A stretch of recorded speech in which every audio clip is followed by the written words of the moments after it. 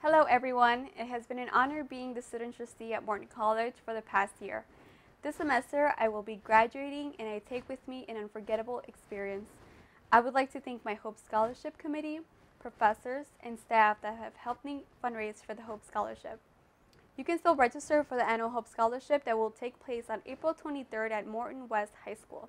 We're close to reaching our goal of $4,000 in scholarships for undocumented students at Morton College. We have two excellent candidates running for student trustee. The candidates will hold two debates, March 29th and April 3rd in the Student Commons. I hope you will take this time to listen to what they have to say. I also hope that you will spread the word and cast your vote. The campus-wide elections will take place Wednesday, April 5th. You can vote on the Panther portal beginning at 8 a.m. and voting closes at 8 p.m.